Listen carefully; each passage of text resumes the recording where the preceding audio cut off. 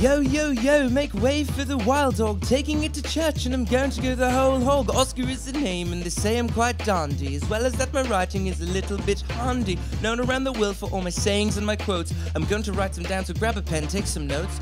Words are my thing, I'm pretty sick with a rhyme. The man of the moment, way ahead of my time. My hats are always banging, and my clothes are dope. Fur, feathers, velvet tones, I can't even cope. Everyone listens to what I got to say. I can speak it all in German, Greek, and en français. Toast of every party, and I always get my swag on. Hitting them with zingers, man, I'd like to get my gab on. Wrote a little book, it's still a classic today. It's about a young fellow called Dorian Gray. But man, those reviews, they didn't go so well. So I went and wrote some plays, you know. What the hell? Things got heavy, and I had to do time. Two years in prison in the dirt and the grime. Annoying thing about it was I shouldn't have been there. I didn't do no wrong, they weren't playing very fair. I said, Yo, London, you've had your chance. I'm going to check out the scene in France.